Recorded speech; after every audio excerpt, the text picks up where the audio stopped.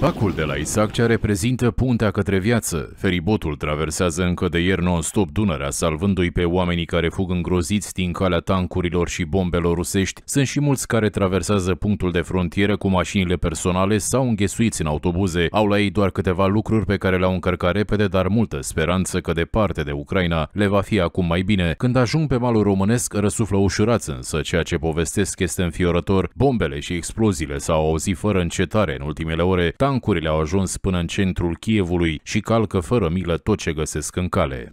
Explosion started in the night, so we woke up at 5 a.m. I guess. And then we started packing the bags. And then during uh, the journey, like when we were waiting for the bus, we want to reach uh, Israel because my husband has a relative there, but we cannot uh, do that at the moment because he, he doesn't have um, foreign passport because he left it at home because we didn't have time to, to, to, take, to take it with us.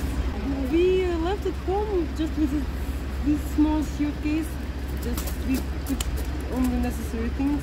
Only because I have four children now, they give me permission to leave country. Otherwise, Yeah. they stop other uh, people.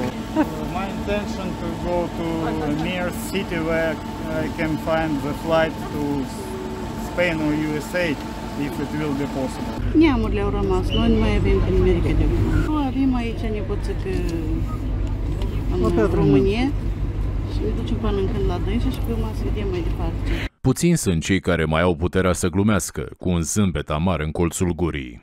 NATO, dacă NATO nu vine la noi, ne ducem noi în NATO. Ucrainienii care ajung noaptea pe malul românesc al Dunării sunt cazați într-un centru de primire organizat de primăria din Isaccea. 15 persoane au fost adăpostite și azi noapte, iar azi dimineața au plecat mai departe. Primarul din localitate spune că are și două pensiuni pregătite pentru cazarea celor care trec Dunărea și a amenajat și sala de sport. În paralel, Inspectoratul pentru Situații de Urgență amenajează și o tabără de refugiați. Cei mai mulți dintre ucrainieni spun că nu vor să rămână în România, ci să plece mai departe peste graniță, în Polonia, Cehia, Germania sau Statele Unite. Deocamdată activitatea se desfășoară normal în punctul de vamă. Noi suntem, așteptăm cei care ies din vamă, alții decât cei care nu au mijloace de transport, să putem să-i dirijăm acolo unde doresc să meargă. Le asigurăm uh, aici la ieșire din vamă pentru că în partea cealaltă au stat și toată noaptea și am bănuit că sunt înfrigurați. Să dăm câte un ceai cald, câte un sandwich Autoritățile din Tulcea se așteaptă ca numărul cetățenilor ucrainieni care vin în Dobrogea să fie din ce în ce mai mare. Cel puțin 300 au ajuns la Isaccea numai astăzi până la orele prânzului.